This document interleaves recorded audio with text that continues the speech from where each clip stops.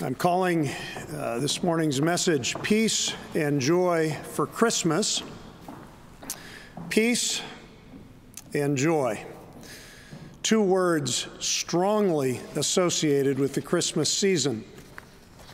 We read them on Christmas cards. We see them in Christmas decorations. Sometimes you'll see them around town up in lights. And we sing them in some of our most beloved carols.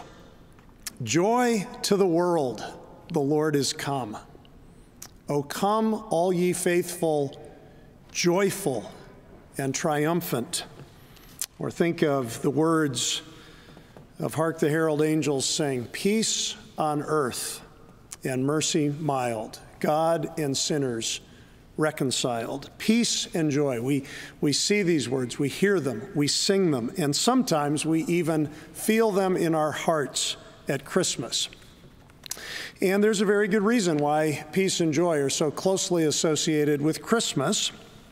Both of these words and both of these emotions or habits of the heart appear very prominently in the stories of the first Christmas. And we see this in the Gospel of Luke, which has been the focus of our studies for chapel this, this fall semester.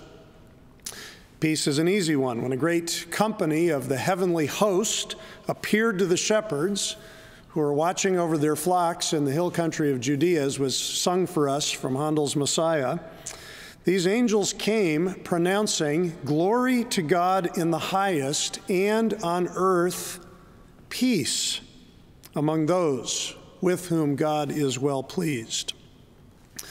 Those words were spoken in kindness to the first shepherds who were frightened half to death to see such holy angels, but they were also announcing a new era in human history. God was coming not in judgment, but in peace. In sending his beloved Son into the world, he was bringing his peace to troubled humanity. And the angels were not the only ones who received this message of peace, and the, the shepherds were not the only ones who heard it. Zechariah sang about it in his Christmas carol, his Benedictus, a prophecy given when his son, John the Baptist, was born. By the inspiration of the Spirit, Zechariah knew that a Savior was coming, and as he came to the end of his carol, he announced that this Savior would give light to those who sit in darkness and in the shadow of death, to guide our feet into the way of peace. Zechariah's song ended with a blessing of shalom. And Simeon sang about this as well. Old, old Simeon, waiting for one last thing before he died. All he wanted was just one glimpse of the Savior that God had promised. And when Simeon saw the Son of God in the arms of Mother Mary, he felt the deep peace of the first Christmas. And already, as we're reading the Gospel of Luke, we understand this gospel is not just a drama, it's actually a musical. And so you can almost hear the pit orchestra begin to take up the strains as Simeon sings another one of the first Christmas carol, carols, the, the peaceable carol, which the ancient church called the Nunc Dimittis. Sovereign Lord, this is Luke chapter 2 at verse 29. As you have promised, you may now dismiss your servant in peace. For my eyes have seen your salvation, which you have prepared in the sight of all nations, a light for revelation to the Gentiles and the glory of your people Israel.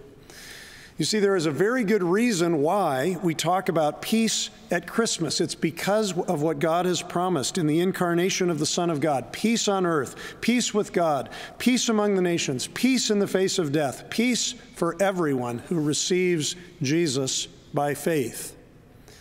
Peace and also joy. This term as well, strongly present in the opening chapters of Luke. This, this happy emotion was also an essential aspect of the first Christmas. It was there in the birth announcement that the angels pronounced Fear not, for behold, I bring you good news of great joy that will be for all the people.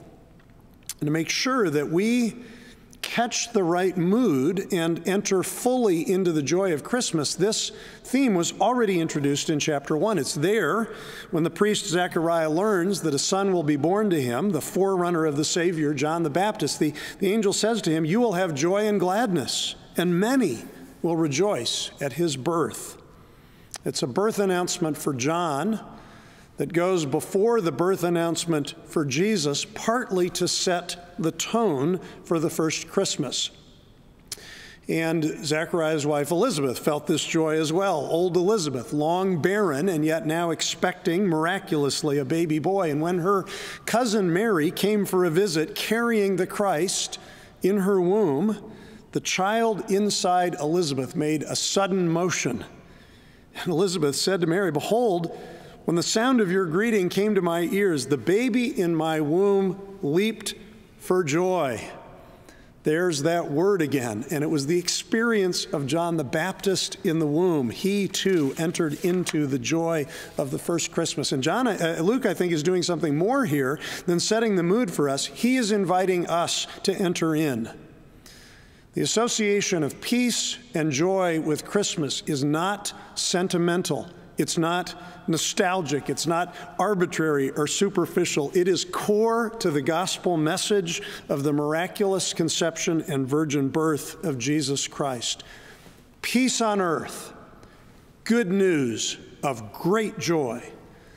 These messages are meant for us, and so is the emotional experience that goes with them. There is peace and there is joy for you this Christmas.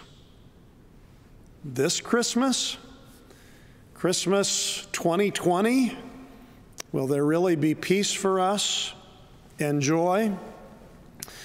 I'm calling this talk Peace and Joy for Christmas, but maybe you could put a question mark at the end of that phrase because peace and joy are just about the last two words that anyone would use to describe anything associated with 2020. I started our chapel series earlier this fall with a lament. There was nothing joyful about it or peaceful. Now it's December and we are still grieving for the same sad losses now that we were grieving back then sickness and death, financial hardship, isolation and separation, racial conflict, unjust violence. There's nothing peaceful about seeing an ICU crowded with patients Nothing joyful about the experience people have of seeing their loved ones die alone. Nothing peaceful about politics and protests. Nothing peaceful about arguing over when and where you do or don't need to wear a mask. Now, when we describe COVID 19 and try to explain what happened before, during, and after the 2020 elections in this country, I don't suppose that the words peace and joy show up anywhere in the conversation. It, it's words like sadness, fear, grief, anxiety, anger, frustration. What hope can we have of peace and joy this Christmas? I think it's worth remembering that the world has always been like this. When the angels sang joy to the world, and when Mary and Zechariah prophesied peace, many troubled souls would have doubted. The godly people that we meet in the stories of the first Christmas were all living in poverty. Mary and Joseph certainly were, and so, of course, was their newborn son lying in a manger. Soon they would be homeless immigrants fleeing for their lives from Herod's murderous assault on the newborn babies of Judea. The Roman Empire was violent and oppressive.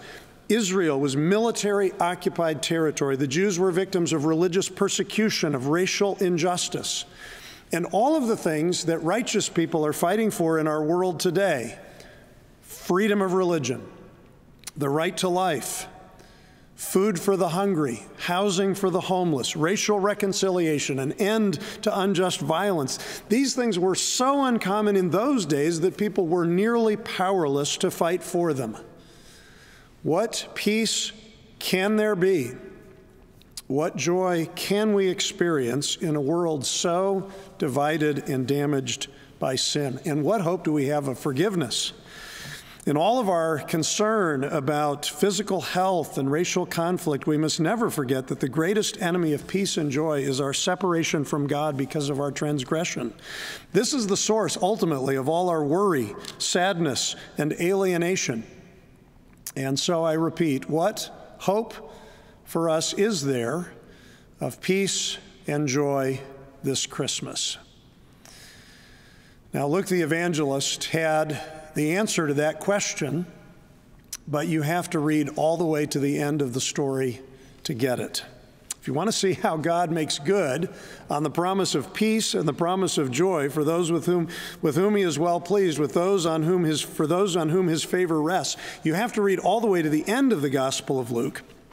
And I'm sure you've noticed this in your liberal arts studies, how the best stories find a way of ending in a way that echoes the beginning. There is a sense of completion, of wholeness, of having arrived at the right conclusion. And here I want to show you something brilliant and beautiful in the way that Luke has written his gospel peace and joy. These words from the beginning of the gospel show up prominently and climactically at the end of the gospel. Luke uses this technique to bring the story to full circle and show us that God will give us and has given us what he promised to give us at the first coming of Jesus Christ. Now, you'll remember, I'm sure, how the gospel ends. The last thing the disciples knew, Jesus was dying on the cross in terrible agony. And then at the end of chapter 23, he is laid in a tomb, and all of their hosts, hopes seem to be lost. There is no peace, no joy, only sorrow and trouble.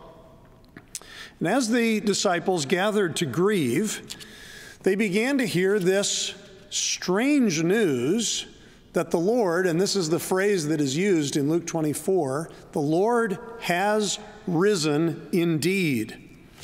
And suddenly, as they were trying to understand what this meant, Jesus appeared to them, not as a baby in a manger, but as glorious Lord, risen bodily from the grave. And Jesus said the same thing to his disciples that the angels had announced to the shepherds, to the disciples who had abandoned Jesus at the cross, who were now scared half out of their minds because they thought they were seeing a ghost. The first things that, thing that Jesus says to them is peace. Peace to you. This is more than merely a polite greeting, it is a pronouncement of divine shalom. And it's a peace not only for the first disciples as forgiven sinners, it is also for us. We have peace with God because through the cross our transgressions are forgiven. We have peace in the world in spite of all the anxiety and fear that we may experience. We have peace with one another because by the Holy Spirit, Jesus has been born in us and has made his home with us. Peace not coming simply through the baby in the manger, but through the Savior who died on the cross and the Lord who rose from the dead with the power of eternal life. Peace and also joy. At first, the disciples could hardly believe what they were seeing. Jesus, who they knew beyond doubt was dead, now alive from the dead and standing in front of, in front of them. Luke says that they were startled. This is chapter 24, verse 37, and frightened and thought they saw a ghost. And Jesus did not want them to be troubled or doubtful. He wanted them to be peaceful and joyful. And so he invited them to touch the glorified scars in his hands and feet, to experience for themselves the resurrection of his body, which would never die again. And Luke uses a strange expression to describe what the disciples felt in those first moments of encountering the risen Lord Jesus Christ. He said, This is chapter 24, verse 41, in a way echoing chapters 1 and 2. They disbelieved for joy. They disbelieved for joy. You know, in English, when something happens that seems so, too good to be true, we, we say, I can't believe it. Actually, we, we can believe it, or we're, we're starting to believe it, but it's just such amazing good news that we can hardly believe it.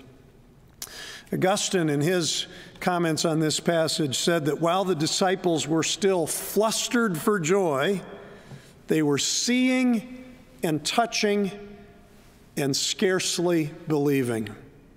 If anything seems too good to be true, it is the resurrection of Jesus Christ, which means that all of our sins, every last one of them, is forgiven, and that we are totally at peace with our awesome and holy God, and that we have the absolute assurance of everlasting life, of the resurrection of our own bodies. This is not something to disbelieve, it is something to believe for joy. A joy that drives away our doubts and comforts all of our sorrows. I don't know how you will experience it, in what precise moment over this Christmas season you will, you will feel the joy and have the peace. It, it will come perhaps as you read some familiar scripture, as you ponder the lyrics of some new carol that gives us fresh perspective on the coming of Christ into the world. But this Christmas, 2020, by faith, you will encounter the incarnate, crucified, risen Lord Jesus Christ. Unbelievable joy will come into your life, indescribable peace. Peace and joy for Christmas, peace and joy forever. Amen.